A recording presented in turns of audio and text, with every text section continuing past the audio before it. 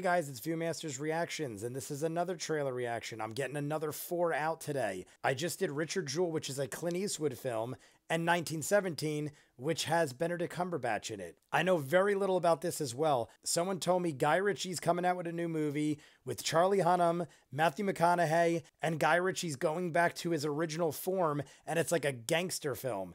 That's all I know. I'm jumping right in because I want to see this. I am a big fan of all of Guy Ritchie's gangsterish type films. The last one he might have done was RocknRolla, maybe.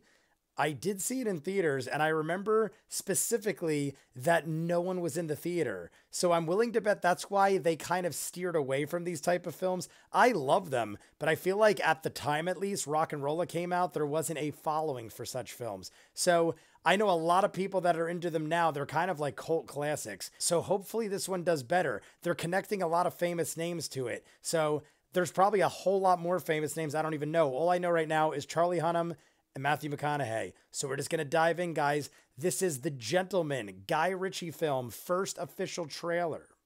I want you to play a game with me, Ray. I don't want to play a game. Oh, please. No. I said play a game with me, Raymond. Right. Lovely. Is that Hugh Grant? That looked I like an old Hugh Grant. A character. Your boss, Mickey Pearson. You're too smart to be blackmailing us, Fletcher. Sweet Mary Jane is my vice. Your poison, on the other hand, is and always has been the destroyer of worlds. You're out of touch, and I would like you to consider an offer. I am not for sale. The plot begins to thicken. Now, I can't be specific about the heroes and zeros, but our protagonist is a hungry animal. Colin Farrell There is was a there. lot of money hanging in the balance. Our antagonist explodes on the scene like a millennial firework and has indirectly started a war. I think you need to see this, boss.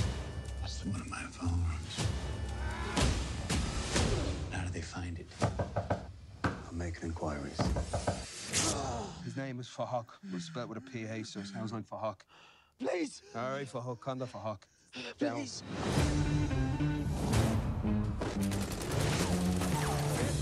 That is definitely If Hugh you smell Grant. smoke, I was it's not 'cause sure. there's a fire. So you're gonna have to stamp that out quickly. These people are going to clean house, and you are part of that house.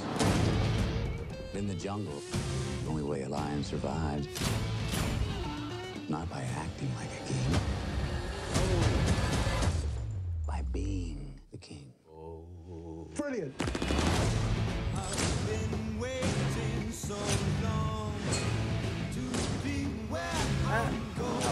Really warming up now, isn't it? There's only one rule in this jungle. When the lion's hungry, he eats.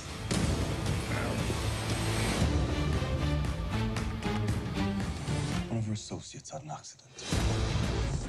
So you killed someone. No, it was the gravity that killed him. Oh, Gonna need those phones. We need those photos. Very much like that one, guys. It reminded me of the old movies that Guy Ritchie used to do. Snatch is my favorite by far. Brad Pitt as the pikey, and like he's like a bare knuckle fighter. I don't know if you could ever surpass Brad Pitt's character. Snatch is not only my favorite Guy Ritchie movie, but Brad Pitt's character is probably my favorite character. Even though Snatch is loaded with so many lovable characters, Jason Statham is like one of the main characters before he was like anything super famous. He might have had like a little stardom at that point. That was like Brad Pitt's movie though. The whole way that went down, the two of them together, great. And the way he talked and fought and how badass he was, loved everything about Snatch. Definitely going to check this out. I love that they had like other actors in it, but you almost couldn't even recognize them. Like Colin Farrell was almost unrecognizable. If you know movies, you know Colin Farrell, but like I feel like a lot of people wouldn't even know that was him right away. Hugh Grant definitely looked different. Once the beginning happened, I was like, that looks a lot like Hugh Grant. And then the halfway through the trailer, I still wasn't sure until they actually showed Hugh Grant's name. By then, I was pretty confident, but I still wasn't positive. They did some crazy makeup, facial hair, stuff like that. I dig it all though. I did like that there's also a different spin from your typical Guy Ritchie films too. It's basically a gang of Asians that are all into martial arts from what it looks like, and it looked like they were getting their asses kicked by the martial artists. So it was an interesting spin because usually it's just a bunch of British guys killing each other. This was an amazing first trailer, and I'm definitely going to see it. I also love Matthew McConaughey. He might be a little cheesy and a little over the top some of the times, and in real life, maybe he's a little odd, but I do love Matthew McConaughey in mostly everything he does. And I just finished True Detective a couple months ago, and he was fabulous in that. Looking forward to this. You guys let me know what you think. Comments down below. Like and subscribe. I'll see you guys on the next one. Peace.